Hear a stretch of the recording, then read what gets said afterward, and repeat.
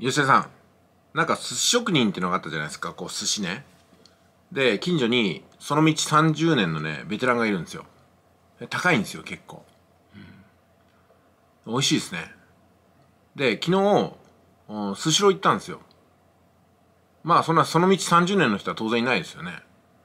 多分アルバイトかなんかでこうちょちょっとネタのしてる人ですよね。こううまいんですよ。安いんですよ。どこに違いがあるのかってことなんですけどもまあなんていうんですかね。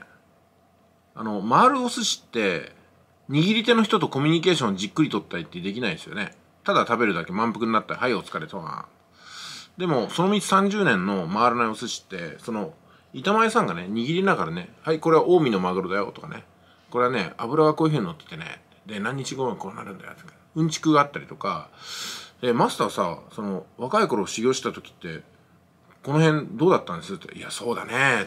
この辺はまだね、寿司屋がうち一軒しかなくてね。で、のれん分けしたのがあそことどこどこ出てるんだよって。あそこも結構頑張って美味しいよって。結構炙りとかが得意でね。こういった付加価値があるから、こう、その道30年のベテランの店って高い金を払ってゆっくりじっくり味わう価値があるなと思うんですよね。で、まあ、いわゆるその高額塾の中でもサポートする人数が割と少なめのってなんかこの one-to-one 動画みたいなじっくりとしたサービスできるじゃないですか。それこそ私生活とかにも触れていけたりとかね。会えたりとかね。なんか気軽に Zoom とかでジョイントできたりとか。でもなんですかね。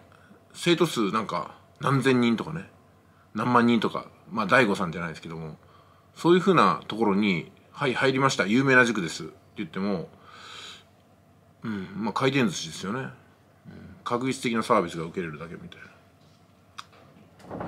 な、まあ、その辺が大きな違いかなと、まあ、我々はやっぱりねその道30年じゃないですけども。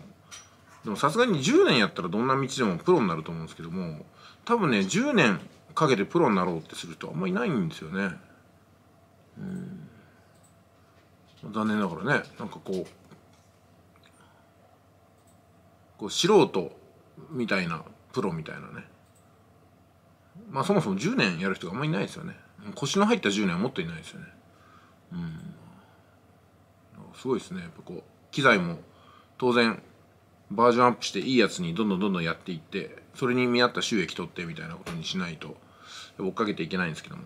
ただなんかこう暇つぶしみたいになっちゃってる人もいてそういう人はどんどんね苦しくなっていくのかなというところですよね。まあなんか賢くなっていかないとダメですよねやっぱりね、うん、じゃあいってらっしゃい。